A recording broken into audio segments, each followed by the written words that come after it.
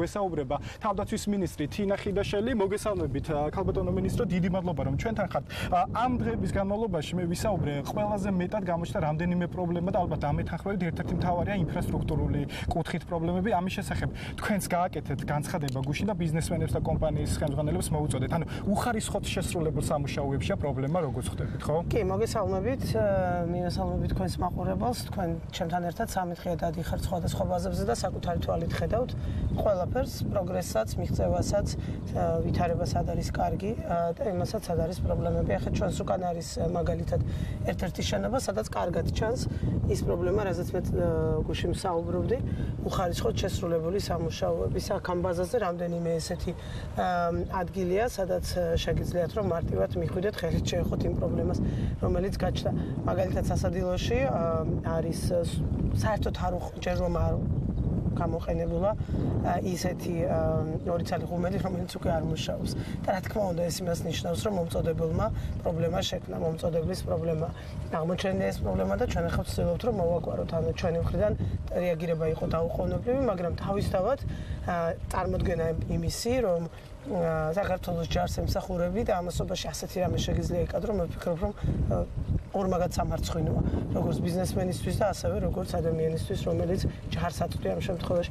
პრობლემები არის ძალიან ბევრი, მათ შორის ის, რომ მაგალითად ახლად გარემონტებულ შენობაში თუ წყალი დიდი უკაცრავად ჟარგონის უსთან დაპორით მოუშვი, აა კედლებიდან შეიძლება წამოვიდეს ის წყალი და ანუ მილი გახეთქოს, ესეც ანალოგიურის დასტურია.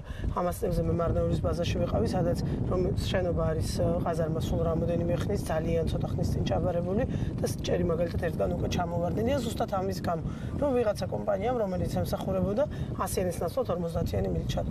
თქვენ თვითონ პირად კონტროლზე მილი ჩადო და იმის მიხედვით სადრაზე ვლაპარაკობთ, აი ეს რაღაც ფულის მოგება სახურავზე ვიყავი ასული და მე არა ვარ არც მშენებელი, არც ინჟინერი, არაფერი საერთოდ არ არ გამეგება ამ საქმეში, მაგრამ თვალები მაგ და ვხედავ და რო დახედა უცებ მიხვდებით პრობლემას, სად არის მოპარული არასწორად ფული არასწორად გაკეთებული, ასე ვთქვათ, როდესაც ამას აკეთებდა ის მშენებელი. ამიტომ დიახ, მე პირადად გუშინებს ვთქვათ, დღესაც გავიმეორებ, აბსოლუტურად ყველგან ყველა მშენებლობას, გარდა იმისა, რომ ამას ძალიან პროფესიულად აკეთებენ ჩვენი შესაბამისი სტრუქტურების წარმომადგენლები, მე პირადად დავინტერესდები ყველა შედეგით, მანამ სანამ ჩაბარება მოხდება ობიექტების იმისათვის, რომ ანალოგიური პრობლემები არ იყოს იყოს და ყველა კომპანიას მინდა მიმართო, რომ ჩვენ გვინდა მათთან მეგობრობა, ჩვენ გვინდა რომ ხელი შეუწყოთ მათ შორის საქართველოს ბიზნესის განვითარებას და თავდაცვის სამინისტრო გამომდინარე მისი საქმიანობიდან, ინფრასტრუქტურული პროექტების რაოდენობიდან, მასიურობიდან, სიდიდიდან ერთ-ერთი ასეთი უწყებაა, რომელიც შეიძლება იყოს ბიზნესის მიერ დანახული, როგორც მისი განვითარების საშუალება. მაგრამ ჩვენ არავის არ მივცემთ უფლებას, რომ ასე მოეპყროს ქართულ ჯარს, როგორც რამდენიმე შემთხვევაში ქონდა კი ბატონო, რაც შეეხება კვებას, ესეც ერთ-ერთი ძალიან მნიშვნელოვანი საკითხია ჩვენ ვიცით რომ სულ ცოტა ხნის წინ ძალიან დიდი გამოხმაურება მოყვა რამდენიმეჯერ ჯარისკაცების მოწამვლის ფაქტ. დღესაც ვიმყოფებოდით ყვებითი ორგანიზაციის კომპანიის ღია კარის დღეზე, ასე ვთქვათ ადგილზეც ვნახეთ რაღაც პრობლემები, ხო? მიუხედავად იმისა, რომ ეს კომპანია სასადილო არის ნატო სტანდარტების, ხო? ეს სასადილო ნამდვილად ხო ის სასადილო რომელსაც დღეს თქვენ ზანდებოდით არის ნატო სტანდარტების, ნამდვილად ყველა პარამეტრით დაწყებული პროდუქტის მიღებიდან დამთავრებული საკვების ჯარისკაცის მიერ მიღებამდე მთელი ეს ციკლი ჩვენ გავიარეთ, ნახეთ სრულიად თანამედროვე აპარატურა, რომელიც იქ დგას, თუმცა იქაც იგივე პრობლემა იყო, ერთ-ერთი ღუმელი ჩართვამდე გაფუჭდა და არ მუშაობს და ისე ვთქვათ, და იმედი ამ პრობლემას მალე მოაგვარებენ. ეს რაღაცა როგორც ჩანს გადაუჭრელი პრობლემაა, როგორც ჩანს ეს კომპანია, რომელიც საქართველოში ყიდის ამ ღუმელებს განსაკუთრებული ჭყალებში პასუხისგებლობით გამოირჩევა. მაგრამ ჩვენ თქვენ იქ ნახეთ ჩიტები. ეხა ჯერ თავისთავად ყველამ ძალიან კარგად იცის რომ ერთ-ერთი ყველაზე უფრო დიდი დაავადების გადამტანია და ყოველდღე დაუშვებელია მის სასადილოში ყოფნა. მე ვიტყოდი რომ ეს მცირე მასშტაბის პრობლემაა, ამას ადვილად შეიძლება მოევლოს, ამიტომ ამაზე განსაკუთრებით არ შევაჩერებ ყურადღებას, თუმცა დიახ ეს პრობლემა იქ იყო. აა მაგრამ ყველა სასადილო რომ ასეთი იყოს და მხოლოდ ჩიტის შემოფრენის პრობლემა იყოს, რა გვიჭირდა მაშინ? გაცენებით უფრო მძიმე მდგომარეობა სასადილოში, ეს სანაკის ბრიგადის სასადილო ნორმალურია, აქ ნამდვილად ვერ ვიტყვი რომ რაიმე განსაკუთრებული დიდი პრობლემები აქვს, გარდა იმისა, რაც ახლა გითხარით, ორი უმელი ჩამოტანისთანავე გაფუჭდა.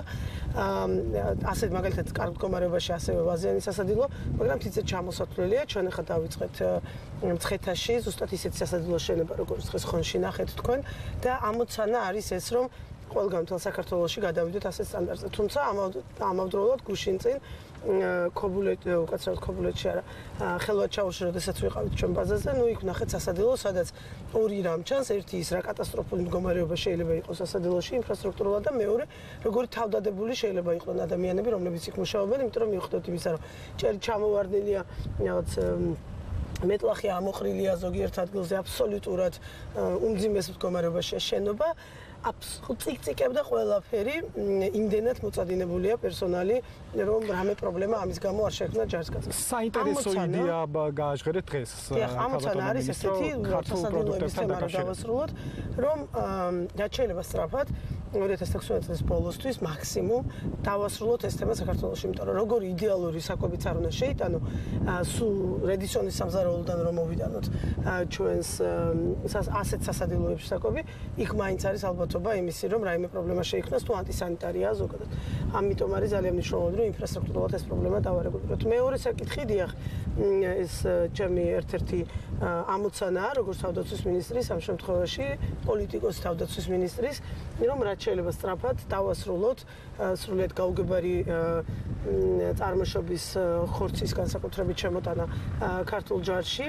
და ეს თანხა რომელსაც ჩვენ ვიხდით სახელმწიფო ბიუჯეტი იხდის ჯარისკაცების ყვებისთვის დარჩეს საქართველოში. გადავიდეთ მაქსიმალურად ქართულ პროდუქციაზე. იქ სადაც შესაძლებელი ხა გასაგებია რომ რაღაც შეიძლება საქართველოს არის წარმოებოდეს და ის ქართული ვერ იქნება. მაგრამ ყველაფერი რაც შესაძლებელია და რაც ჩვენს ქვეყანაში ახლა მისაწვდომია ჯარმა უნდა უნდა იყიდოს ქართული და უნდა ჭამოს ქართული. ამ ხრივ ჩვენ მოლაპარაკებები უკვე დაწყებული გვაქვს ხორცის წარმოებლებთან, ქათმის პროდუქტის შეტანაზე და თანდათანობით ვაგზელებთ უკვე სხვადასხვა სეგმენტებში. მე ვფიქრობ, რომ წლის ბოლოსთვის ჩვენ ეს ასიამონო სიახლე გვექნება საქართველოს მოსახლეობისთვის. ჩვენ მე ველაპარაკე ბატონ ირაკლი კოზანაძეს ასევე სხვადასხვა მიმართულებით ქართული წარმოების გაძლიერებაზე ჯარის მოხმარებისთვის და მისგანაც მაქვს თანხმობა, რომ საპარტნიორო ფონდი სიამოვნებით ჩაერთვება ამ პროექტებში, თუ კი იქნებიან წარმოებლები, რომლებსაც თქვა ამ წუთას ფინანსური პრობლემა აქვს და არ შეუძლიათ რომ გაზარდონ საკუთარი მოცულობები. ამიტომ ჩვენ თავდაცვის ამინისტრიის ხრი მეორე ხრი უკვე ის შესაძლებლობები, რომელიც ქვეყანაში შეიქმნა ამ ბოლო წლების განმავლობაში ბიზნესის ახალისების და მხარდაჭერისთვის ყველაფერს გავაკეთებთ, თუ კი იქნება ბიზნესიდან ამისი სურვილი და ამისი ინიციატივა. კი ბატონო, ძალიან დიდი მადლობა. გისურვებთ წარმატებებს თქვენს ქართულ შეიარაღებულ ძალებსაც და იმ უახლოესი ამოცანების შესრულებას, რაც ბუნებრივია უკეთეს გახთის ჩვენს ასეთ თავდაცვის ჩვენ გავაგზავნებთ შემდეგი დღეების განმავლობაში. ხიაც ასე ამოვნოა. როგორც დასაწყისში აღნიშნეთ, ჩვენ დღეს ვიმყოფებოდით ხონის მეორე საარტილერიო ბრიგადაში